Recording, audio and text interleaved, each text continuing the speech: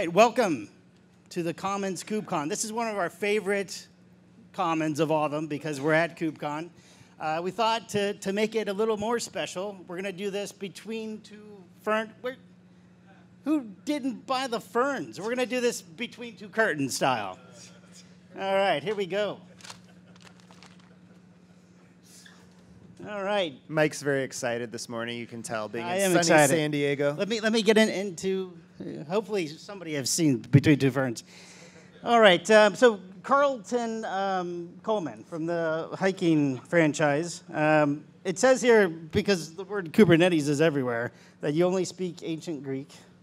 Um, and Derek Carr, you're in the uh, shipping business from the looks of you, the uh, dock worker, I believe. Yes. Oh, and, and my people did get the note about the spicy foods. We, we, we won't have any. Thanks, Um, Mike. But it, it says, is this why we're on the boat, by the way? I have no idea don't what you're plug, talking don't about. plug your projects yet. Don't plug your projects. That comes after the sponsors. I will say Derek's actually going to change his last name legally to Karr with a K because you can't launch anything these days. And now that he's got children, he doesn't want people to think that he's not contributing to the Kubernetes ecosystem. All right. In all seriousness, Clayton Coleman, Derek Carr. Clayton is a thought leader in the Kubernetes. If you haven't met him, definitely shake his hand at some point today. Derek Carr is a steering committee member and also a co-chair of multiple SIGs. So thanks for having us in this busy week because I know you guys are having another conference over at the uh, convention center today, right? What? Yes, the Oh, uh, committers yeah. conference or something. Yeah, like that's right. The contributors conference is Yeah. today. Um, ton of other events going on at Kubernetes, but we're really glad that. Uh, Ignore, ignore the unusual. I guess we are going somewhere. Um, so I, I thank everybody for coming here. Um, you know, it's really exciting to. Uh, it's really exciting to us to um, get a chance to talk to folks, and I know that there's so many people here. Um, but if you see us and we're not talking to anyone, do not hesitate to come up and ask us a question if you've got something on your mind. Um, there's plenty of other engineers here. There's um, a ton of PMs. Mike's all of Mike's PMs are here today. Like this, really for us is about uh, making connections with the folks who use OpenShift, who think OpenShift isn't good enough yet, um, and we want to hear, you know, what it is that um, is going to make a difference for you in your uh, in your transformational journeys. Yeah, thanks for that. So, on to the news. Clayton, I hear you have something pretty exciting to announce. That's right. So um, today, um, I just tweeted about this about 25 minutes ago. Um, OKD4 preview is um, out. And so this is roughly based on OCP for three, same open source code that's been there, but it uses Fedora CoreOS. Um, we'll have someone up on stage in a little bit um, who will do a demo of it. Um, but we're really excited about this, and uh, we apologize for everybody in the community who rightfully took us to task for taking so long to get OKD out there. Um, it was a little bit more of a journey than we thought it was going to be when we um, when we got OpenShift 4 ready. Um, and I'm not going to blame it all on the Fedora CoreOS guys, but communities sometimes take time, and we had to make sure we were doing the right thing in Fedora before we um, before we uh, moved OpenShift to Fedora CoreOS. Thanks for that announcement. So, let's start from the beginning install and upgrades. And, Derek, when I walk down the corridor at 416, there's a saying that goes the first cluster is always the most important cluster. Can you, can you talk about the first cluster being the important cluster? Can everyone hear what he's saying? Oh. Okay. Nice. All right. So, Derek, when you walk down the corridor back at engineering, Yes. there's a saying that the first cluster is always the most important cluster. Can you Yeah. get go into that for a moment? Yeah, so typically everybody starts their Kubernetes journey somewhere. Usually it's your first cluster, and that cluster might act as a management service for other future clusters you create, and we'll talk about some of those projects later. But if that cluster doesn't stay up and running and upgraded and lifecycled, then you're kind of left high and dry. So with OpenShift 4, uh, when we took the technologies from CoreOS and we integrated them with Red Hat, um, we asked ourselves, like, what can we do to make sure that when you create that first cluster, you have a pleasant experience, that you can create that cluster in as many environments as possible. Enterprise IT environments are very, uh, I guess I would say, um, Diverse. hybrid, or uh, yeah, diverse is a good word. Um, and so we try to make sure that once a customer can, or client can get that cluster up, that afterwards, once that cluster is running, their experience to upgrade and lifecycle that cluster is as consistent as possible. And we kind of took it from the perspective of the whole stack out. Um, it's one thing to get a cluster up, but then, as we'll talk about a little bit later, you have to keep it updated. So we did a lot of work to make sure that the spirit of always keeping security top of mind and wanting to always ensure that not only being able to install that cluster, but then lifecycle that operating system afterwards was important. But you can't do much work without a cluster, and oftentimes you need to create that first cluster to create your second through 1,000. So I was going to add here. So how many people were here uh, at KubeCon last year in December when Derek and I did the demo of OpenShift 4 on stage? By show of hands. Okay. So you know it's been about a year now, a little bit less than a year, and we had a very early version of OpenShift, you know, running at that demo at KubeCon of OpenShift 4, and it actually a lot of the the physical interface hasn't changed, right? The same concepts, operators, having the OS tied to the cluster, how we were doing updates. But what we spent most of the last year on is finding all the places where that breaks down. So like I, I don't have the exact numbers, but like Michael accused me of being like a stats nerd now. So like what we've tried to do is apply um, a much broader set of data capture and analysis on CI. And I think we've launched somewhere on the order of 500 to 600,000 clusters um, since we stood on stage last year. And that's about 10,000 clusters a week in CI. Um, inside that set of clusters, um, we've probably done something on the order of um, 100,000 or 200,000 upgrades um, from December of last year to December um, or to November now. And that process, like, it's not just about making sure the features are there, but it's doing it over and over and over until we're absolutely certain, like, even at the really small statistical levels, that there's not some weird race condition somewhere in Kubernetes that even though everything else worked correctly, something in Kubernetes holds us up. And actually, like that takes a long time to flush out. And I think we're actually starting to see the benefits of that both in Kubernetes and in OpenShift as we've really we've gotten to the practice of updating, right? It's not just about you can do it, it's do you do it all the time. There's some other things to bring up, which is the first cluster is the most important cluster because it's the first cluster that if you actually get it running, you have hopes of doing it a second time. So when, frankly, when, when 4 first came out, uh, we had some work to do as we were still closing out the year to get it integrated with folks' disconnected environments, your proxy environment.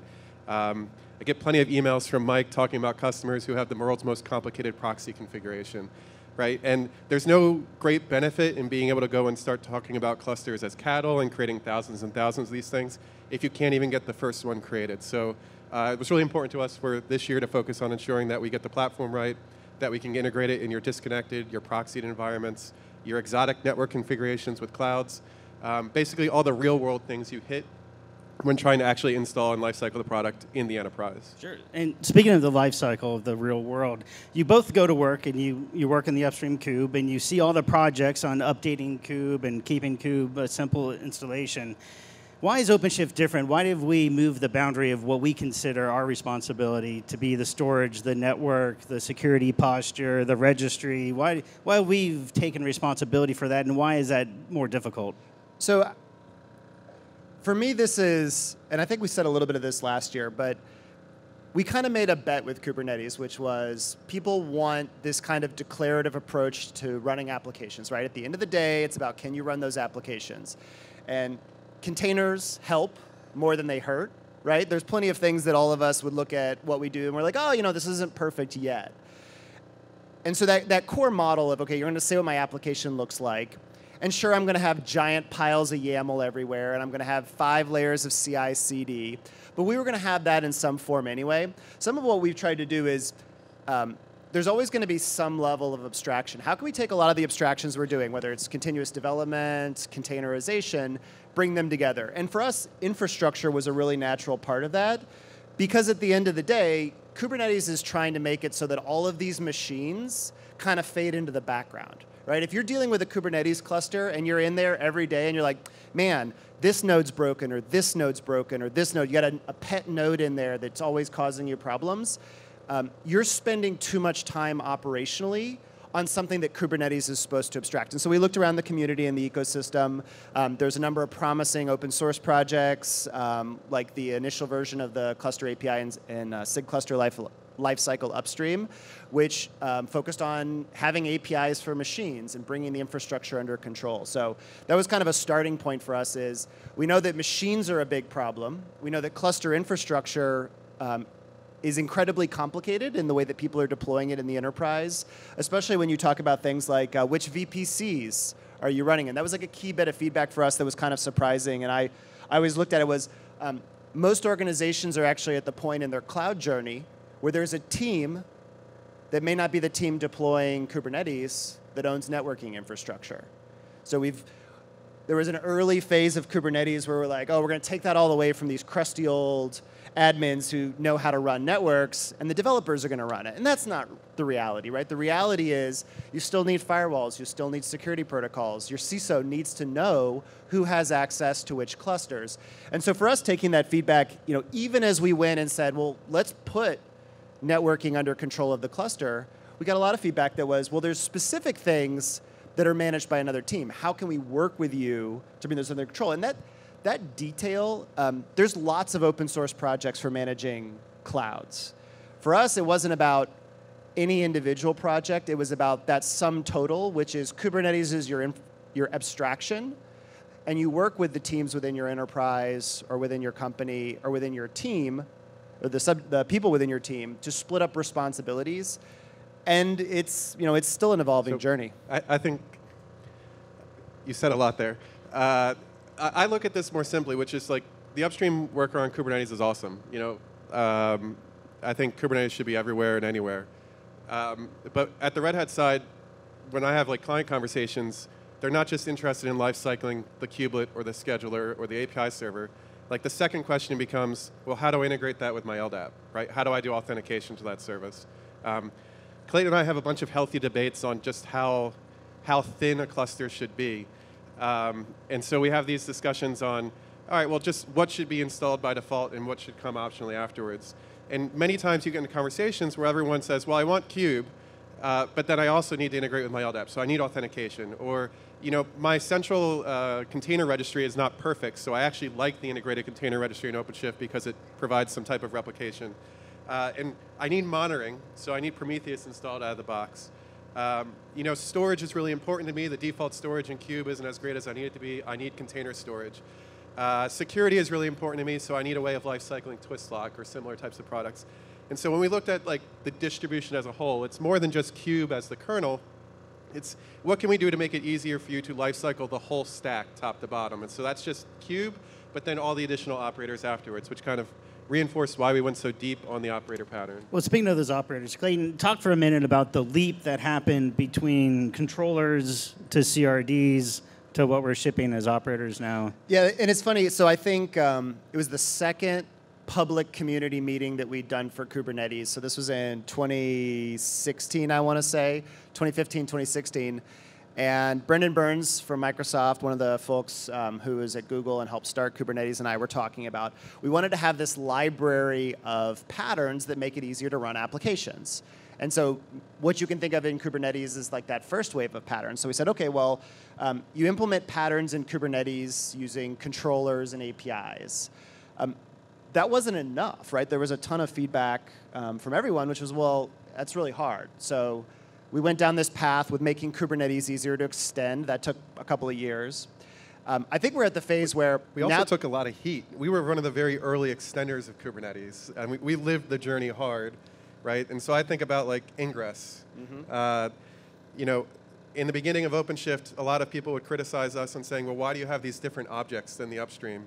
And now we're at a phase where if you go to KubeCon and there's 12,000 people and hundreds and hundreds of vendors, they're all basically doing what we started in OpenShift 3 with the API extensions now that you can do through CRDs, where no longer are you having discussions on, well, is this the right ingress or OpenShift routes versus ingress? It's like everybody recognizes that it's more than just the 10 or 12 core API types in Kubernetes that you need to be successful, and CRDs is really that enabler yeah, that. And, and with CRDs, you have to lifecycle those because if your applications depend on this controller and CRD working, and all of your applications are using those. What happens when you do an upgrade and no one actually tested that that version of that controller and that CRD works on the next version of Kubernetes? And maybe at some point in the magical future, Kubernetes is just going to stop changing completely, but I don't ever believe that. And so we've got we have a duty as an ecosystem, as an upstream, as uh, one vendor, as a vendor who works with other vendors to build tools and patterns that help people manage this journey because the benefit of declarative applications, infrastructure is just trying to reduce the separation between what I have to worry about as a developer, as an operations team, as a systems admin, from what somebody else can do for me. And whether it's done through operators or whether it's done through somebody running um, something developed by their own internal teams on their clusters, we want to make sure that the whole ecosystem moves forward, and that takes time. Yeah. But one last question on this area. We moved the boundary to include the operating system into the platform. Can you talk about why we made that move for our customers? I think this is the easiest. So we took this was, I think, one of the hardest discussions after the CoreOS acquisition at Red Hat. So um, CoreOS had made a big investment in container Linux, um, which had this idea of immutable operating system, and it was containerized. It you know ran well with containers, but it wasn't really tied to Tectonic, which was CoreOS's distribution of Kubernetes. And we had a lot of early discussions, which was let's go a step further. Let's fundamentally tie machine lifecycle and how machines are updated. Because at the heart of it, and Red Hat has dealt with this for a long time, containers just run on a Linux kernel. And so tying that lifecycle together with all of the different parts of the system, it's not just the Linux kernel starting a process, it's cgroups. C groups is changing in a major version transition yeah, in another six months or so. It's already started in Fedora. We knew that these kinds of changes would keep coming to the container ecosystem. And so it was a natural time and place to say, let's make this bet. Let's go a little bit further than CoreOS had done. And let's tie everything in the cluster to the lifecycle of the cluster. And it allows us to, I think we've seen a lot of success this year in um, when everyone, anyone who's running OpenShift 4 upgrades the cluster, every machine in that cluster is rebooted and updated to a new version of an OS and a new kubelet and a new container runtime. I've seen lots of people open bugs about details of how these systems work. I've never actually seen someone say, you know what, I didn't like that that machine got updated atomically and I didn't have to worry about it. And so what we've been trying to do is actually learn where there might be gaps. People want to make sure that they can control how fast upgrades are working. But it's, it's been really surprising to me that we just haven't had that challenge. I, I look at this really practically, which is as a community, we have to make opinionated choices on how we look to offer Kubernetes in a broader distribution. Uh, I, I, help maintain the kubelet upstream, and for much of the life cycle of OpenShift 3, you'd get a bug. It would say, uh, so-and-so is not working, my, my pod won't start, it's stuck in some crash loop back off. And then you'd have this back and forth with either a member of the community or a client and say, all right, well, what version are you running? Uh, what version of RHEL are you running? What version is the container runtime at? and you were spending more time gathering information about how to help that client than to actually like address their problem. Uh, what I really like about what we've done with OpenShift 4 is that, as Clayton said, if you go and download 423, everybody knows what that means. I know the exact level of the OS that, that's running at that point, the exact level of the kubelet, the exact level of the container runtime. It is immensely easier to go and actually solve and fix uh, actual customer problems. Uh, similarly, as, as Clayton noted, like right before I came up stage here, there is a huge shift happening in containers right now with uh, the transition from cgroups v1 to cgroups v2. And one of the things I hope that we can do within the OKD community is when we integrate Fedora CoreOS is that we can start to uh, get that cgroups v2 uh, real world practical experience out in the broader community uh, much earlier. Because uh, when you think about it, like it's kind of strange that Kube has been in the wild for seven years or so, and nobody quite realizes that the entire isolation primitives that guide your containers are just about to change underneath the covers for you. And so to me, that, that introduces a lot of opportunity for us to engage with the community and do it safely and, and uh, with some sense of empathy. Like I would hate for everyone to have to lifecycle their OS at the same time that we're going through this major change. Um, so uh, to me, I think uh, uh, it, it's just a no-brainer that yeah. Why would you want to make your life hard? You guys must have argued for a good 30 days about how to implement the, the VM image or an alternative boot strategy. Can you talk about why you decided on, on what you did? So, um, a lot of our focus has been how do we make sure that Kubernetes can behave the same everywhere? Because that's some of the promise of containerized applications is you can make it work in a production environment, and you can make that run on your laptop or your data center. You can run it in a cloud. And there's a lot of nuance. There's a lot of real subtle details. But the heart of it, we knew that we wanted something that works on bare metal, all the way up to cloud environments or on virtualization platforms. We wanted to be consistent. And so, actually, the easiest part of the technical decision there was if you're running on bare metal, it's harder than it has to be today to re-image those. And we'll actually do some demos um, today of the work that's going on to bring some of that flexibility to bare right metal. now, by the way. What? Right now. Right now? Oh, Yeah. well, what a Yeah, coincidence. let's bring up Angus. Angus, come on up and Come on, Angus. So, and that sort of flexibility on bare metal is also something we can take advantage of in the cloud. And so, uh, the technical details actually helped us provide that kind of experience consistently across both cloud and bare metal.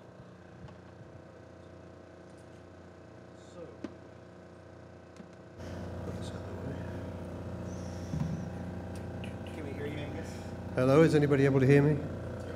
Excellent. All right.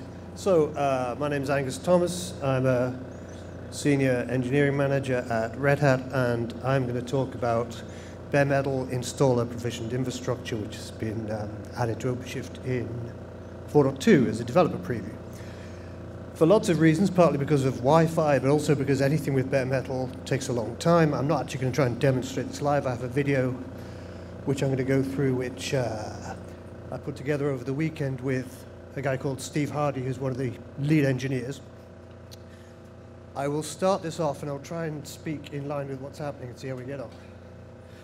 So, uh, we're actually using virtual machines for the demonstration, which is a little bit odd. It certainly uh, is simpler to set up, and it lets you see the power state of all the machines on the right as we go along. Uh, the machines are going to be managed using VBMC. The provisioning is done with PXE, and the management is done via IPMI. So it is actually all of the same processes that you use in bare metal provisioning, except with VMs behind. So there's a table there of the IPMI ports for all of these instances, which we're going to work through. And I actually want to add something to Angus's point. Like, some of what we've tried to do and what Angus's teams have tried to do is at every level where we can build that linkage between something that Kubernetes or OpenShift is doing to work the same everywhere, the better off we are. And so, you know, we're using virtual BMC here, but we know that we want that to be consistent with how people actually deploy metal. And if there's one thing about metal is that it's hard to get metal and bring it onto a boat.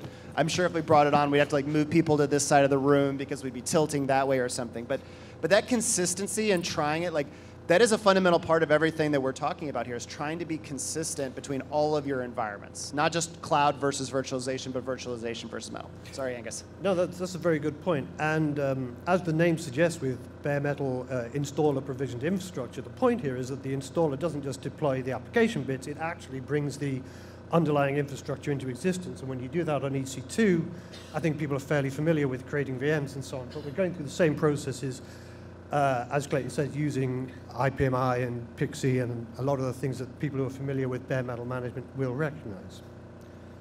And it's all about consistency.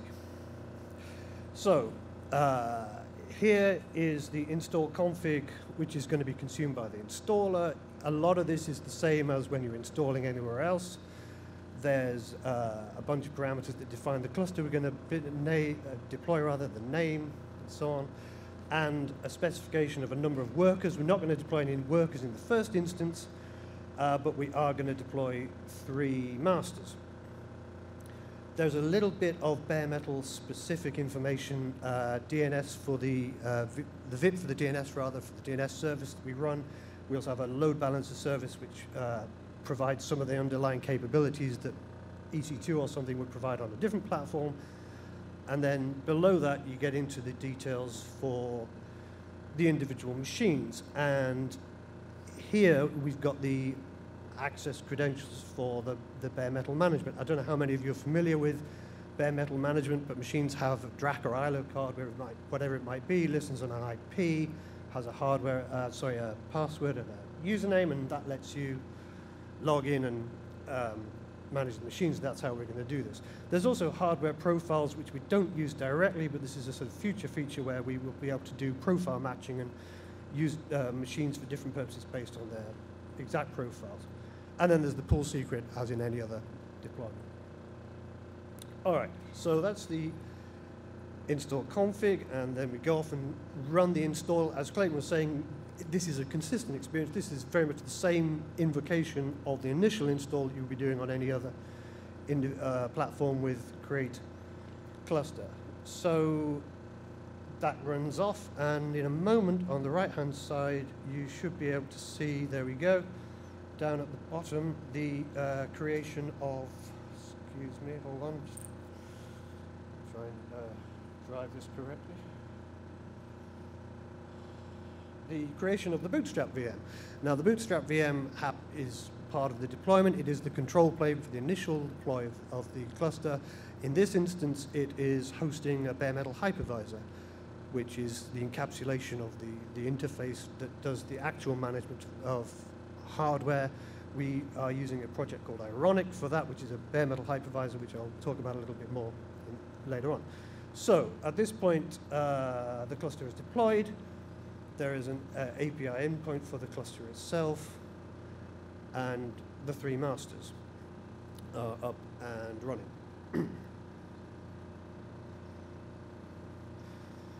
so if we go in, we can see that there are three machines, excuse me, and there is a machine set for the workers, which currently doesn't have anything defined in it.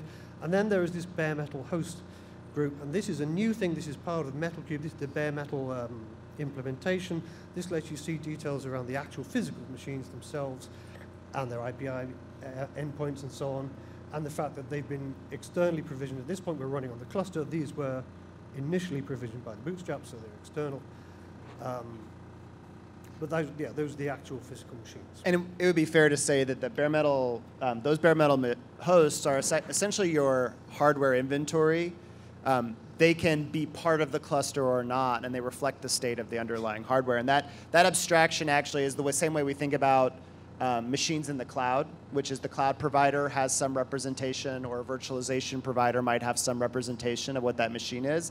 Bare Metal Host is just expanding that to host hardware, and it is capable of doing all of the same things that we would want it to do that we would if we made a cloud provider call to some remote VM. Yeah, exactly. And um, part of the implementation of all of this uh, bare metal support is being done uh, uh, with a sort of overarching project of Kubernetes native infrastructure. And the point is, even though the implementation that is talking directly to the bare metal is a, is a particular bare metal hypervisor, the encapsulation of all that is, is, is done in operators so that it is Kubernetes native and, and things show up and are managed in the way that you would expect as elements within Kubernetes. So at this point, we have our three nodes which are running the masters and the cluster is up. And the cluster itself has its own embedded bare metal hypervisor. And the next thing that we are going to do, the file that is on the screen at the moment, is the definition of a bunch of additional machines which we're going to be able to load in order to make these in instances workers. And essentially there is two fundamental things here. There is the IPMI credentials, again, the address to be able to access the interface to manage these machines, and the, the secrets, the username and password, to be able to manage them. And in order for these things to be available within Kubernetes so we can provision them and make them workers in a, in a, in a moment, they need to be registered, which is what is about to happen.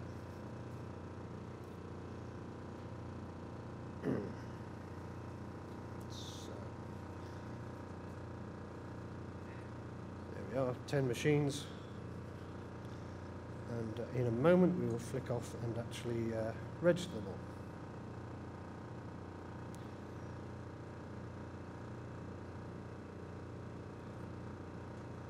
Problem with a video is you can't pressure the presenter to make them go faster when there's dead space. It was, it was, last year after you saw me, I badgered Derek endlessly while we were doing the demos. It was very satisfying. So he, uh, he was smart enough not to do that this year.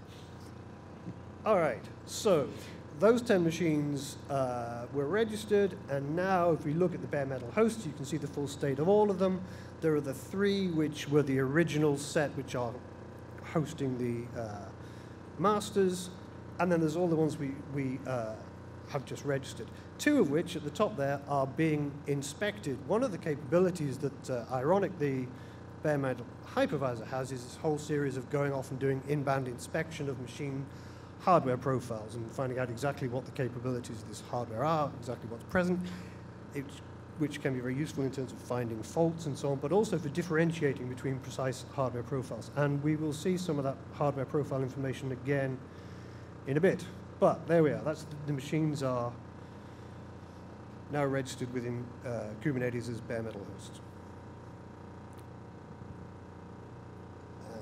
Right, so now that the cluster is up, we have our three masters working, switch over to the uh, console, where you can see a lot that is common. And as we already said, this is about having a consistent experience regardless of the underlying infrastructure, so the representation of nodes and machines is exactly the same. There is this new thing, which is the representation of bare metal hosts. This is obviously specific to bare metal management. And as you can see, we've got our three provision masters and a whole bunch of machines which are reported as being available, which we will be using shortly. There is the ability to individually add machines via the UI, which is what this is, screen is about. We had a YAML file and uploaded a whole load of them in one go, but you can add them individually. So now the machine sets this is the uh, key point. Um, what we're going to do now is increase the count on the machine set for the number of workers from zero, I think, to 10, which will immediately invoke the provisioning of a bunch of workers in order to do reconciliation between the desired state and the actual state. So if we go over to the bare metal hosts, all of these machines are now shown up as provisioning. And this is the point at which the cluster is using its own internally hosted instance of the bare metal hypervisor that I keep saying does all of the stuff under the hood to go through and provision the machines.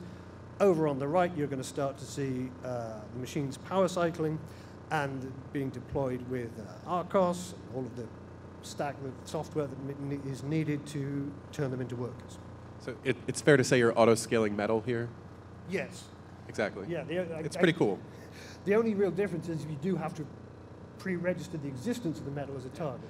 And I think I think like if you think about this like at larger scales, so a lot of folks start with small bare metal clusters and might grow out. But if you're planning a big data center rollout, um, because these are APIs, because these these are tools, you can use existing you know config management or content management systems. You could use Ansible. You could use a number of other technologies to say I want to distribute the inventory for these machines so that they can independently function, or I might centrally manage that and make sure that all of these individual discrete clusters are sharing the same pool of hardware. In both cases, it's the same kind of patterns that you could use in a cloud environment. Um, we're just trying to make sure that it's Kubernetes first and the infrastructure that supports it is consistent everywhere. All right, so here we go. Now, as the provisioning is going on, uh, we click into one of the details on one of these workers, and you can see some of the specific hardware state. The um, processors and the amount of RAM and so on. This is the information about this, this machine that was gathered when they were registered and they were inspected. And because there's a database of exactly what hardware there is, uh, all kinds of clever things will become possible at some point about workload placement. If you've got particular jobs which require graphics cards for offloading calculations or particular NICs or whatever it might be, there's a whole load of stuff about physical infrastructure where you want, want to be, use a particular machine for a particular job. So we have this um, discovered hardware profile.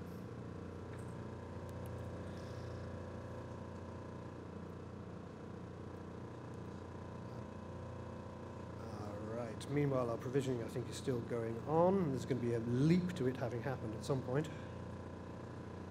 Back over on the bare metal hosts, yeah, still waiting for the provisioning to complete. There's this is the process where you know the, the time is spent on power cycling and host deployment and so on. So um, there will be a moment. There we are. As if by magic, they've all deployed. And so now in the nodes view, there are all of these workers, um, links to the machines associated with them.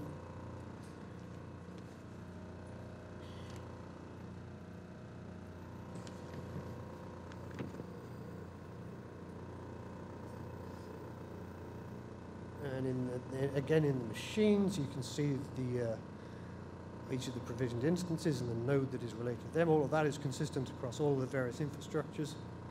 The machine set is, is showing that the state has been reconciled with 10 instances created. And then over in the bare metal hosts, you can see that they, the, all of these machines have now been provisioned, the node role that is associated with each physical machine. And um, I think we're it. That's it. That, that's it. And I'd actually, um, you know, we talked about consistency. So there's a really important feature coming in OpenShift 4.3 that we're all really excited about, which is um, uh, machine health checks, which is the ability as an operations team to define a criteria. So like there was a joke that went around on Twitter that I retweeted this weekend that I really liked. It was um, Kubernetes is just turning things on and off at scale, right? That was all we basically invented in the last five years. And I was like, okay, that's actually really great. Operators turn on everything else that's not run by Kubernetes on and off. And a key part for us is if we can control the infra, we can turn those things on and off for you. So as an example, um, you know, we've used, we have statistics on, um, you know, the health of the OpenShift fleet. One of those is about 0.5% of nodes are down at any one time. And it's actually a really common problem for someone to say, hey, I tried to do an upgrade and it failed. Well, why did it fail? Oh, because one of my nodes was down, but I didn't go do anything to recover it. And so machine health checks are a great feature coming in OpenShift 4.3 that don't care about the underlying infrastructure. They use the abstractions that we're building, that we've had for cloud and for virtualization, as well as for uh, bare metal now. And those machine health checks can do that simplest thing of, this thing was supposed to be working, it stopped reporting in, why don't we try turning it on and off again? And that sounds like the dumbest thing in the world. I'm kind of embarrassed I'm standing up here um, saying that to people. But I think we all kind of have that secret suspicion that most problems can be fixed by power cycling something. And so we have brought you power cycling as a service in OpenShift, in OpenShift 4.3. It, it's opt-in, so for a given pool, you'll be able to That's say, right. I, I, want to. Uh, right, let's give Angus a round of applause. Thank you, Angus. So it, really was amazing what, what he ended up showing. Angus is being modest. He's a leader in the OpenStack community. We've taken the OpenStack knowledge, that Ironic API, we've codified it, we run it on Kubernetes, and then we use it to target machines as if they were EC2 instances. Bare metal, bare metal, bare metal. Mike's very excited about this. And, and honestly, like, you know, it's so hard to get stuff working.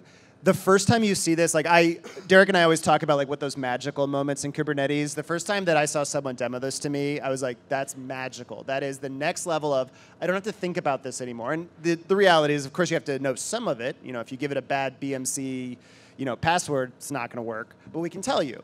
And that power cycling, like, I feel like those are the kinds of magical things that we think are becoming even easier you know, as we've gone through Kubernetes, it took a long time to get Kubernetes to the point where we could just trust it to just run our software. And now we're starting to get in that, into that phase where people have a good idea. They can use automation, they can use the tools that people are building in the ecosystem, and they could turn that stuff um, from, hey, this was hard before, oh, I don't have to think about this ever again. That's like some of the power of modern infrastructure. Right. Day two management. Let's move on to the next topic. We made a bold decision to make OpenShift represent a completely different profile than the 3.x series and the 4.x. Can you talk about how we minimized the core and made all other components a day two operation?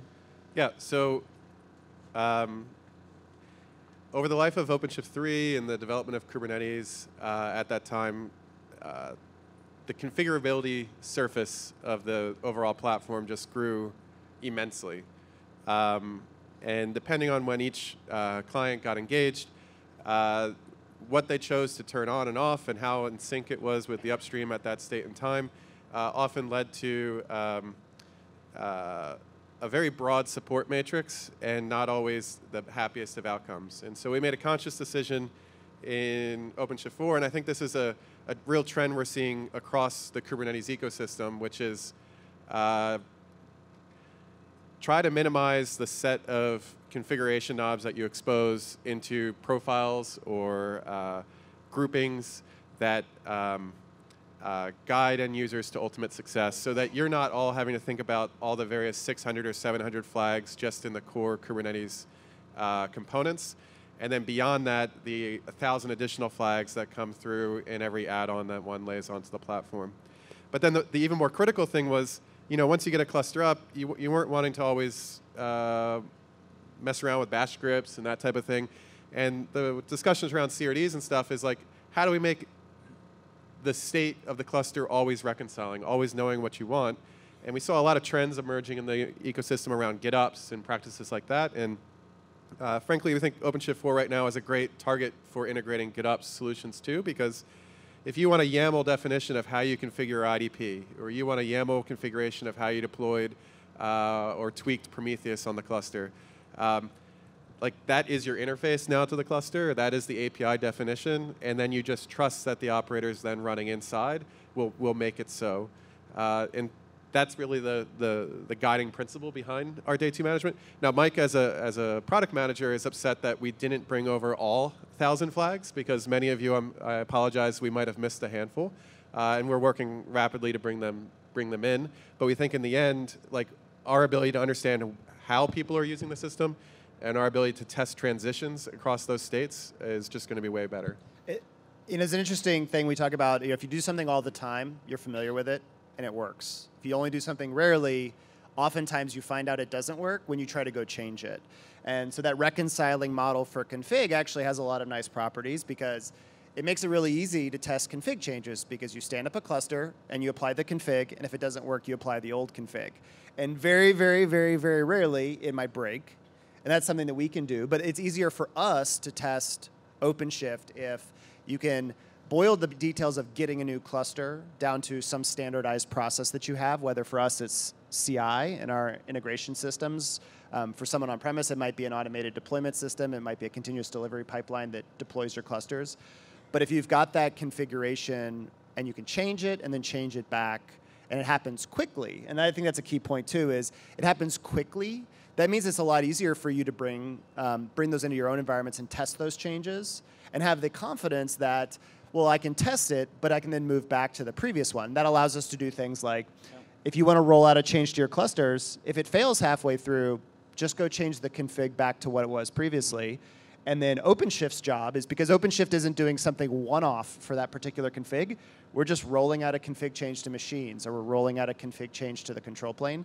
That means that that process is also very well tested. And so it helps us decouple that this parameter over here causes this system to fail, doesn't work like that anymore. Speaking of changing a cluster, talk to me a little about upgrades and why you went as far as to create a SaaS service to help our customers. Yeah, so um,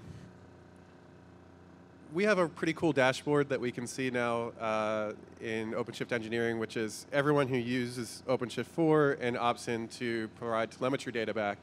Uh, we can see all the clusters that are being created in the world, uh, with anonymized data about how it's configured or if it's being successful or not.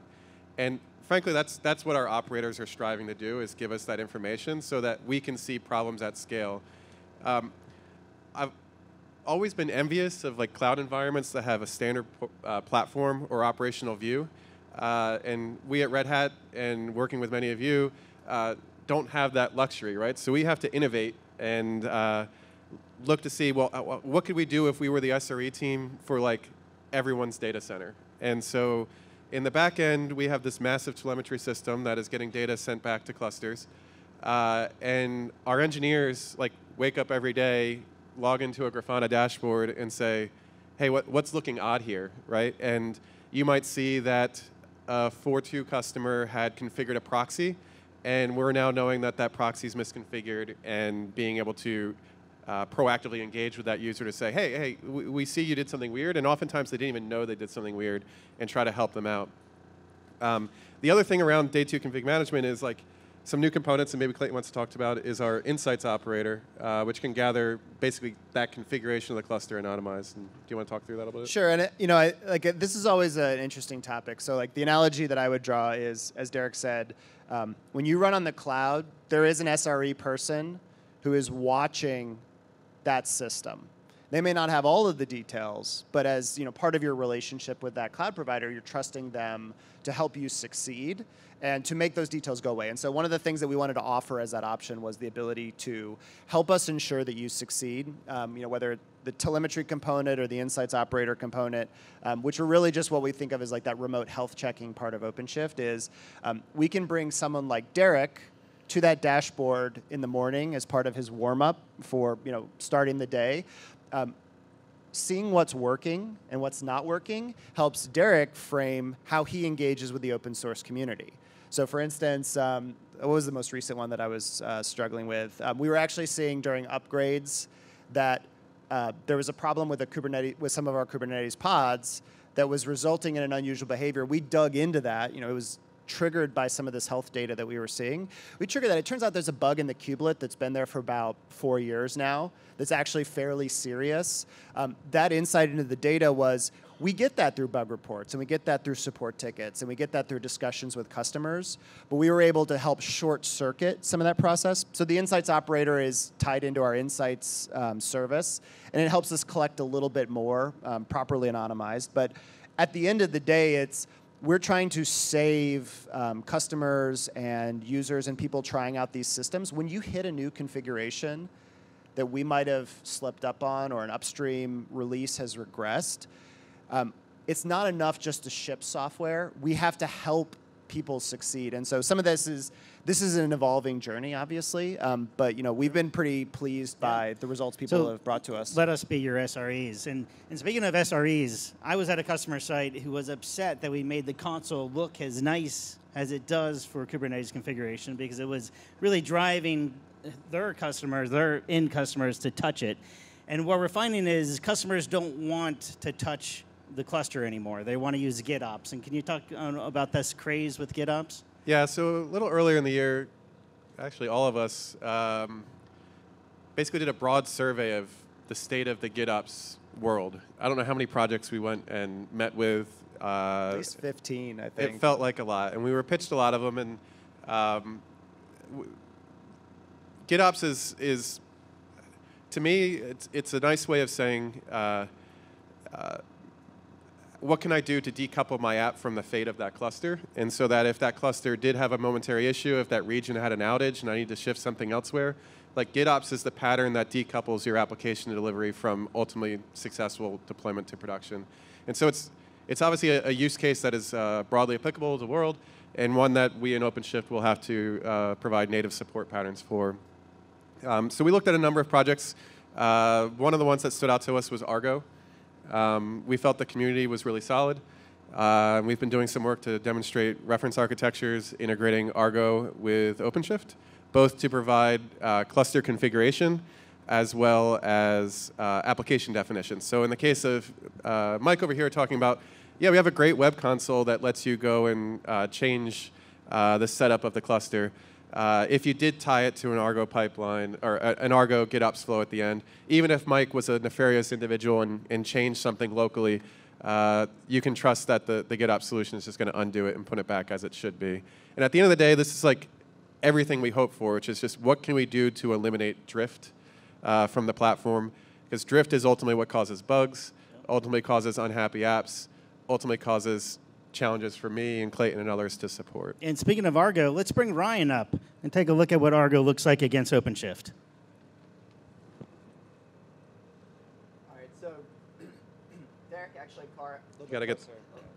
This, I hope I don't have to be this close. This can be awkward. All right. um, I hope I do not have to cover uh, Argo CD as well as Derek did, as he covered GitOps. The idea is much better than I possibly ever could have. This microphone. There we go. Let's see if I can move it here and up. Okay. So what we're going to do is this. We're going to take a look at Argo CD as a sysadmin as well as a developer. So we have two new clusters that have no authentication set up besides kubeadmin. Pretty common, you know, issue. So what we're going to do is we're going to use auth. Um, we're going to use GitHub for auth- authentication, and we're going to apply the same configuration to two clusters. So I'm going to choose my Git repository, and then through the use of Kustomize, I have Commons East 1 and East 2. And the only differences between Commons East 1 and East 2 is just the secret that lies underneath for GitHub. So we'll choose Commons East 1, big, and we're going to create this application. So what that's actually going to do is it's going to call back to Argo CD, tell it to run a git sync and apply versus what is in the repository now.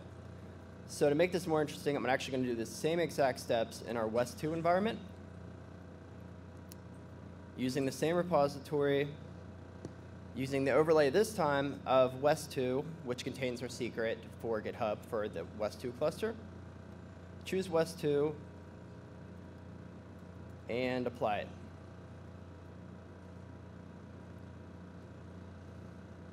So what we're going to see here is that auth1, well, auth1, which is cluster 1, has already synced. So what we see is within that cluster is that we have different things actually applied to it. And you can actually directly look at the manifest that's actually being applied to the cluster. We see that, let me scroll down here. Three scroll bars. I think that's a new record. I know, right? That's pretty good. Um, we see that I am a cluster admin of this directory, of this uh, cluster, that is. And we also see that Derek is also a admin as well. Congratulations, so, Derek. Thank you. So this, this is an extremely common pattern, which is just like I have 10, 15 clusters, and I need them all to have a similar shape and structure. Some default namespaces, some default role binding, and I need to just ensure that as a new one comes up, it, it's stayed in sync. Yep, that's directly it. And as you can see here with the last scroll down, um, I have the organizations of OpenShift and multi-cluster applied. So that means any uh, member of those organizations can go ahead and work on this application. And we see that West 2 is also synced. So if you know anything about the OpenShift GitHub organization, there is a ton of people.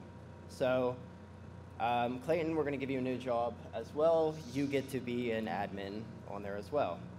I appreciate that. So what we're going to do is we're going to go into our base. Kind of like Derek was saying, there's some common things that you're going to apply to every one of your clusters. So we're going to modify our admins file. And as you can see here, Clayton is here, added. So we're going to go ahead and ship this change, adding Clayton as an admin.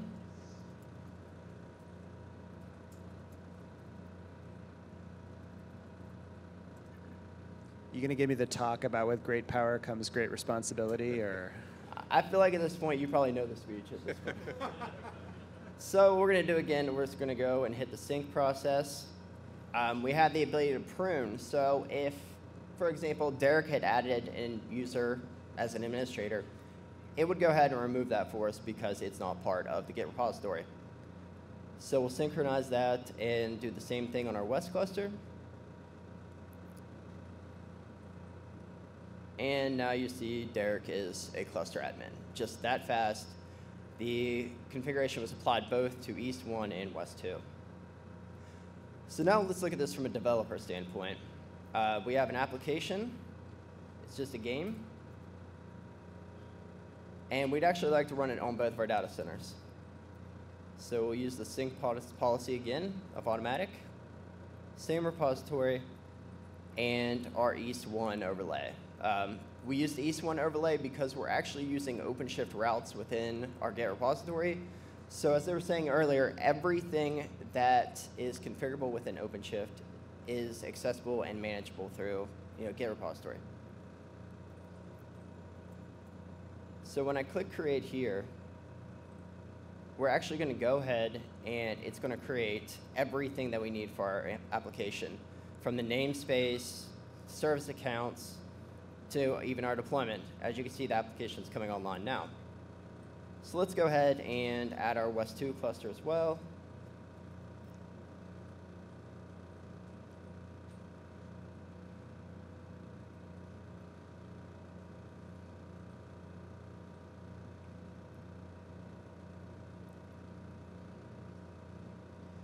You know, I have to ask Ryan, like, can I put all of the config that you're doing here in a GitOps repo to drive GitOps on my GitOps? Actually, you can. Um, so you could put uh, you could put GitOps in your GitOps uh, if you want to make a meme of it. So the really cool thing is about Argo CD and GitOps in general is it has this idea of applications, which all that means is it's just a YAML. So in theory, I could take this manifest here, plug it into a Git repository, and then I could have Git managing Argo, managing another Git repository in our applications. So it's a kind of a multi-layer fun story. So as you see, our game deployed. Uh, you see it's running in East 1. Um, so what I'm going to do is, right now we're on the West Coast, so why even run it in East 1? So we're going to modify our game code.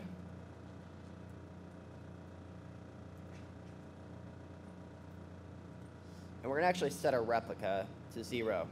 And this is through the use of overlays. We could say that we want no pods running in East 1. And this makes it so we don't have to interact with the load balancer. We don't have to worry about external services to manage shutting that cluster out of the, the rotation. So we'll go back in. Hopefully we don't get caching. We have a little bit of caching. So what I'm going to do is I'm actually going to force sync this application to remove that pod. So as you see, right here is our deployment of our application, our Pac-Man game. And it's synchronizing, and we see out of sync, and it is terminating the pod. That took seconds. That's just so slow. Do you think you could speed that up any? I know, you said you were going to harass me. That's why you have to be admin of that one cluster. It, it's amazing too. Like if you think about um, like a lot of these demos, and we've done, you know, I think Kelsey Hightower's first demo of Kubernetes at one of the meetups in the San Francisco Bay Area. You know, it was. This is still such a valuable pattern, and we see these demos. And the reason these demos matter is because it's about trying to quickly tie intent to action. And like if we talk about like everything that we've built in Kubernetes over the last five or six years, it's about trying to get to this declarative point, which is if you say something's true, then you can have relatively lightweight processes like Argo that say, well, take the truth from Git and move it to a cluster. And then the cluster can then handle those details and summarize them up. And you've kind of broken the problem down into individual steps. It doesn't mean you can't do it other ways, but like this is the pattern I think keeps coming back as we work with the Kubernetes is it happens so fast because we've broken the problem up. And that's how organizations scale. That's how developers and operations teams, they split responsibilities and you put tools and APIs in place between them. Exactly. So what we're going to do is, just to show that we're lying, it's running only in West. And just as an extra addition uh, for your development flow, I just want to show that swapping an image in. Um, Pac-Man deployment. So applications require different images at certain times. So what I will do is I'm going to make a change of the application that we're running in the game.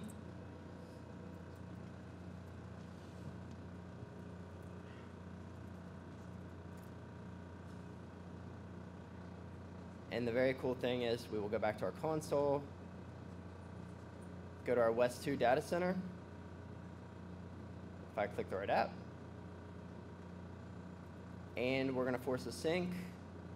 And that's going to actually do our standard deployment flow of replacing the current deployment config, defining the old image, and then put the new image in place, and our application will still be running. That's awesome. Thank you. Can you bring the slides back yep. up? Uh, Ryan works in our solution engineering team, and that team is writing several reference architectures for a lot of different GitOps. We don't think customers necessarily want us to ship the GitOps engine like Argo or Razee or Flux or whatever the case may be. They just want guidance on how to target OpenShift with those solutions, and he's documenting those for us. So thank you, Ryan. Thank you, Ryan. All right, let's uh, skip ahead to multi-cluster. Somebody talk to me about Hive.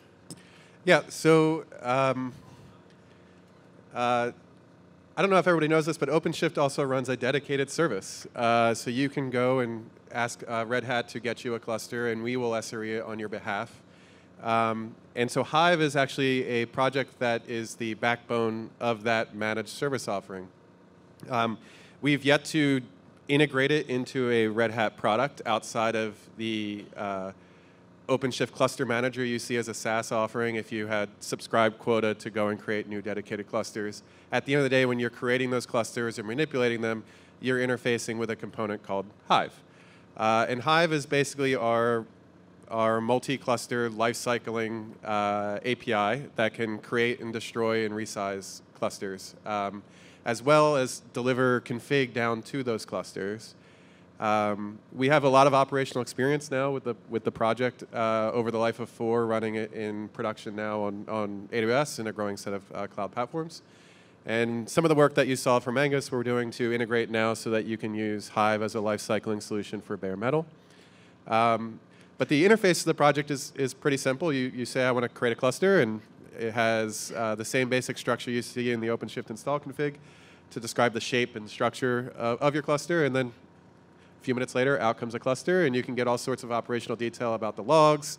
Uh, I can manage DNS for you. It, it basically is a backbone of much of our dedicated offering. So I can ask for a cluster just like I'm asking for a pod?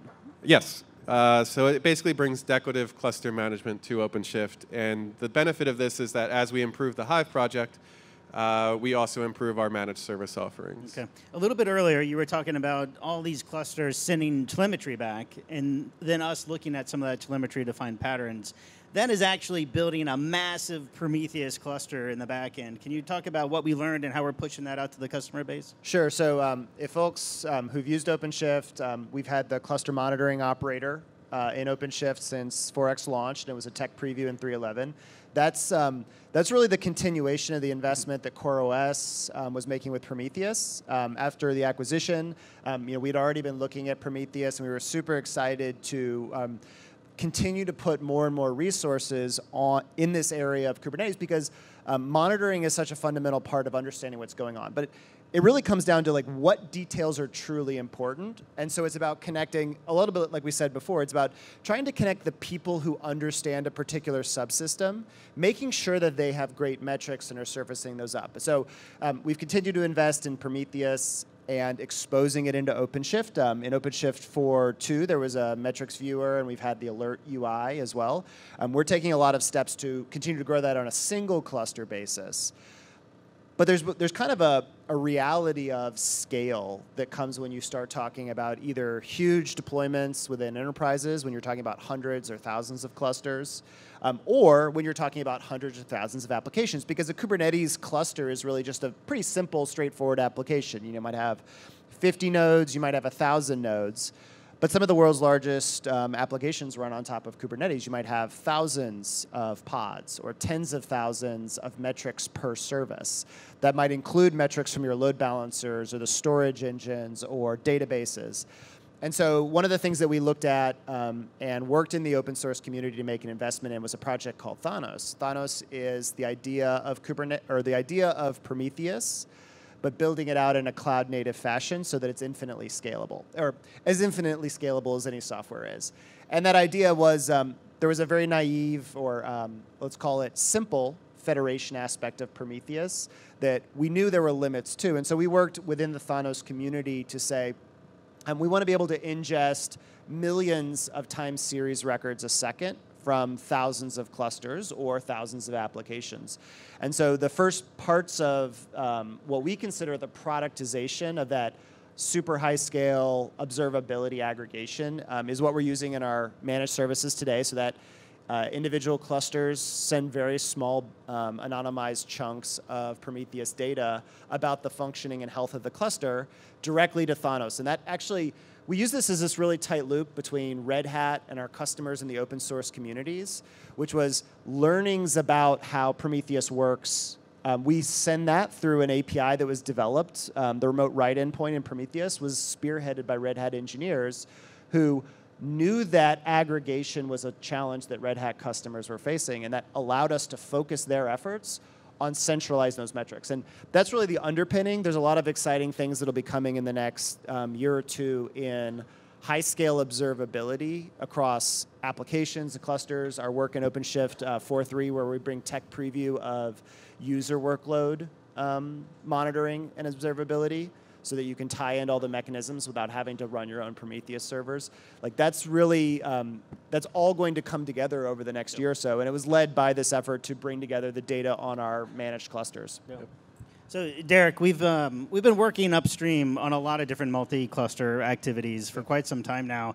I think in the last year we noticed a trend for a lot of people to run sort of a, not an agent, but something in another cluster to allow you to see multiple clusters.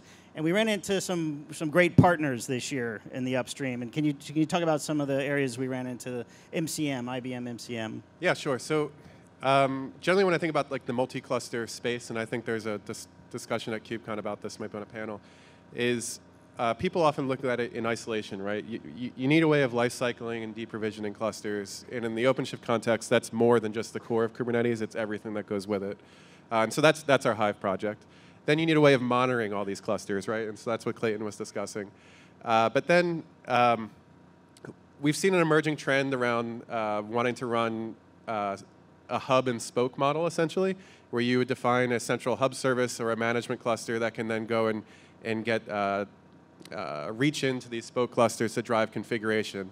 And, and frankly, if you look at Argo, it's, it's just another one of those similar types of tools that's delivering config. Uh, in the in the uh, partner community with IBM now, uh, with MCM, they had a solution that's been in market for over a year now. Uh, and as we started to work with the IBM team, we realized, oh wow, we, we've been working on a lot of common projects together that we didn't realize. Um, so we've had a, a, large investment in the SIG multi-cluster community upstream, uh, and from there we've had adoption of some of the components around a cluster registry.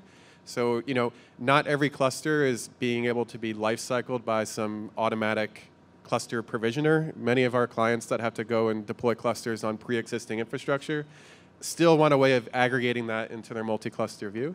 So uh, that was really what the role of this SIG multi-cluster cluster registry project was, which is just no matter how clusters came into existence, give me a listing of all of them and some data about how they are there. And so when we met with the IBM team, we were like, oh, cool. I didn't know you were using that. Like, I thought we were the only ones looking at using that. Uh, and so they're, they're adopting that from the SIG multi-cluster community. And then there's a lot of interesting trends around uh, agents and wanting to stick agents into clusters and feed them back. So Today, we have a telemetry agent in every OpenShift cluster that feeds data back to Red Hat if you opt in. Uh, but if you're running this on-premise and you can't give data back to Red Hat, you're running an air-gapped environment, you want to be able to still aggregate data back to your on-prem hub or your data center hub. So one of the cool things that the MCM uh, team has is this agent called a clusterlet. Uh, and what it's capable of doing is distributing application content across Spoke clusters.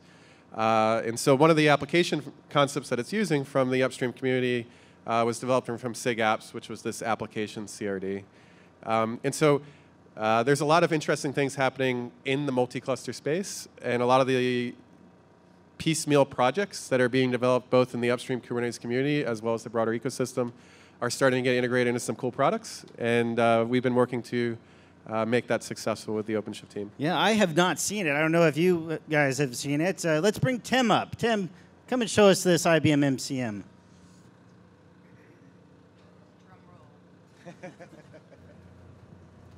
no pressure. No pressure. No pressure. Wow. Wow. Need a taller microphone. Okay. All right, so my name is Tim Poyer, and uh, I work for IBM. I don't work for Red Hat, although maybe now, now that we're merged, maybe, maybe we're all one big happy family.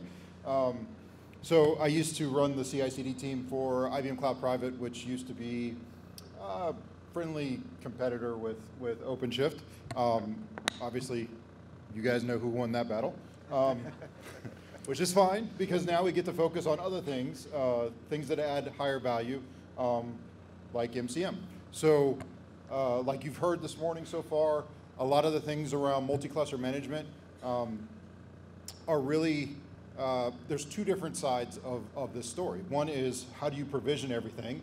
How do you get the infrastructure up quickly and easily and pull it in so that you know about it, you know its status, you know, it's a, you know you're aware of it. Um, the other side of that is how do I govern this? Once it's up and running, how do I ensure that my you know, security policies stay in place or that um, my applications are being deployed um, you know, from a particular uh, repository or I know for sure that my uh, images have been signed before they've been uh, allowed to be deployed in a particular cluster.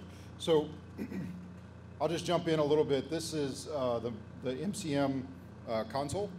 Um, and I'll look down here at clusters. So this is a, a list of clusters that we um, pull out and we understand um, you know, that we're, we're managing.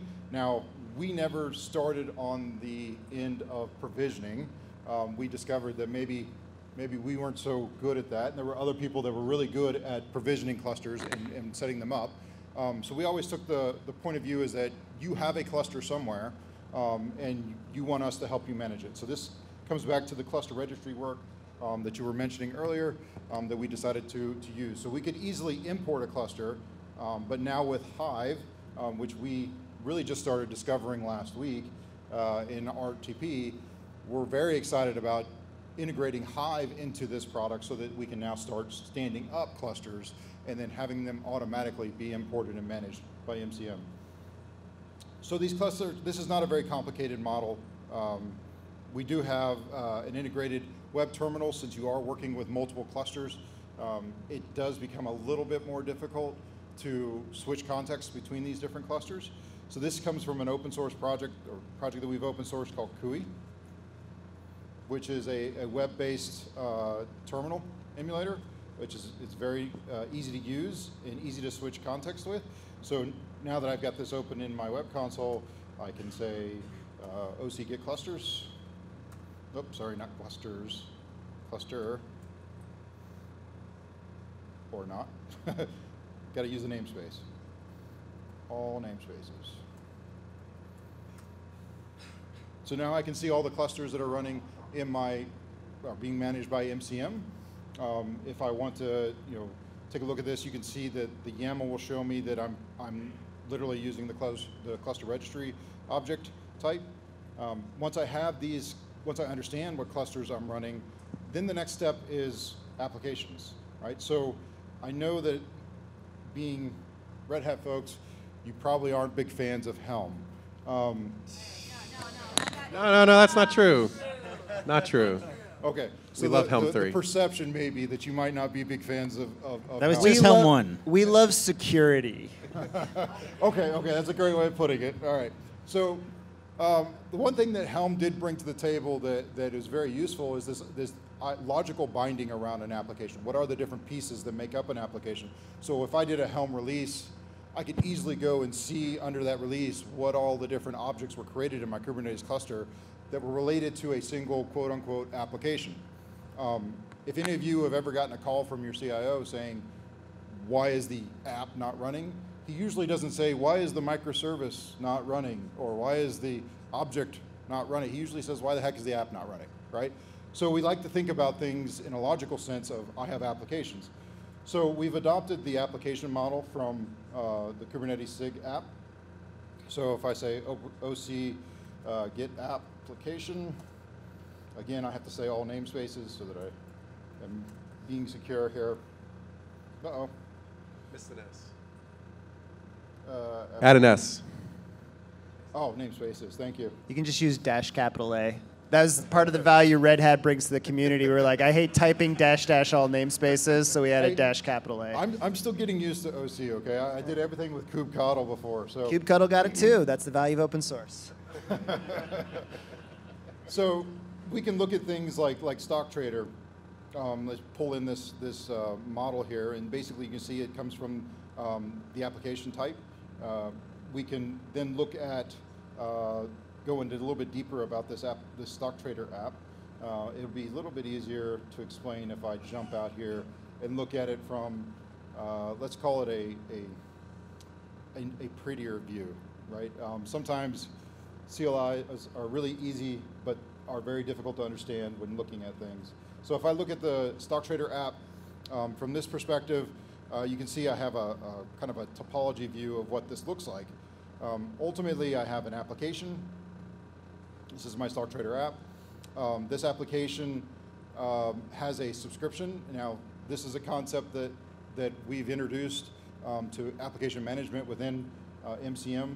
Everything is built off of an application, but an application has channels and subscriptions. So there's a um, there's an open source project that we've we've put out there um, that we're where we're building this in the community. So um, I guess you can teach a uh, a blue dog red tricks. Um, so we're putting this out there in the community to, to, to get feedback and, and to develop it further.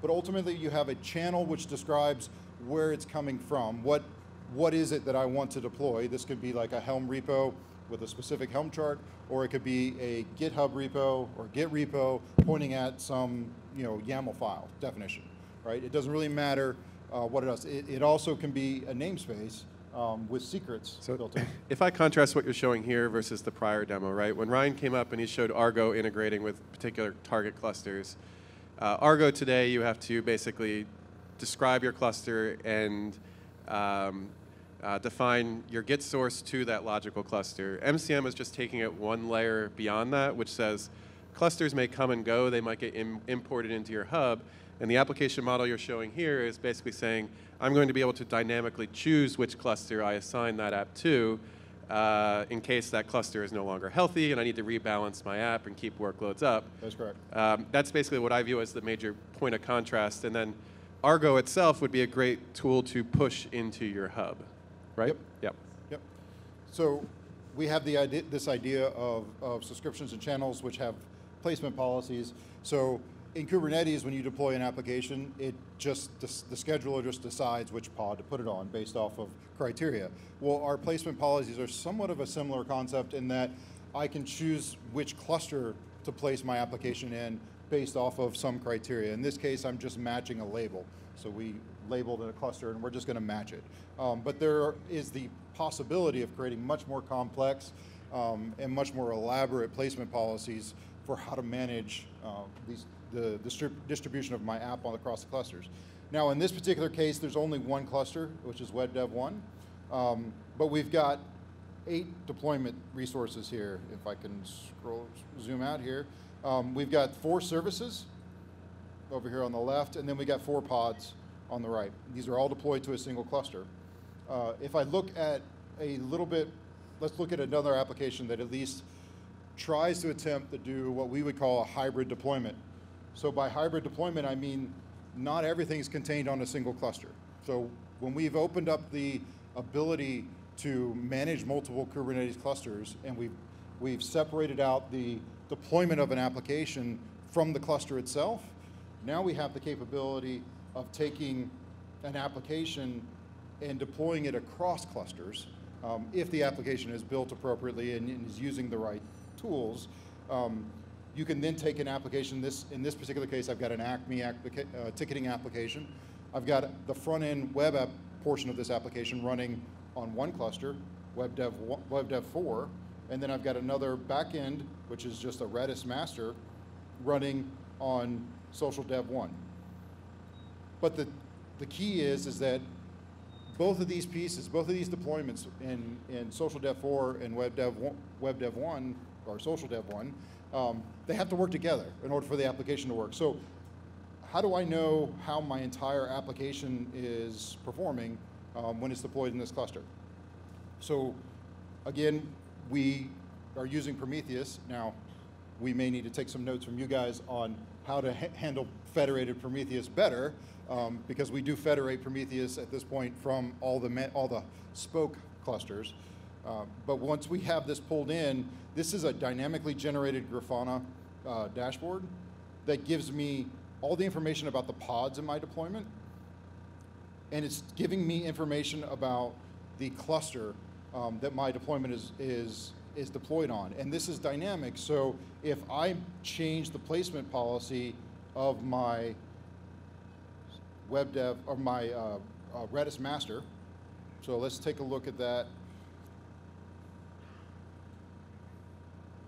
And There we go. It is, yeah, the Wi-Fi is a little, okay, so um, let's switch over. I think I'm in, uh, let's see what project I'm in right now. Should be in Acme. Yes, I am. So OC uh, Git app. Let's go subscription. Subscription. So these are my subscriptions for the, the ticketing application that I'm in. So I've got one here for um, the ticketing Redis master. Uh, and if I look at the placement policy, I have a placement policy rule called Acme Railways Ticketing Redis Master. So if I edit that, OC edit placement uh, placement rule, and paste in that. So now I'm going to be editing the placement policy, and instead of social dev 1, I'm going to change this to social dev 2. And what we should see is that this policy is automatically applied, and we should end up with we should end up with this application, the Redis master, automatically being deprovisioned from Social Dev 1 and provisioned on Social Dev 2. So if, if we jump out back to our application and we look at our, Redis, our uh, ticketing app again,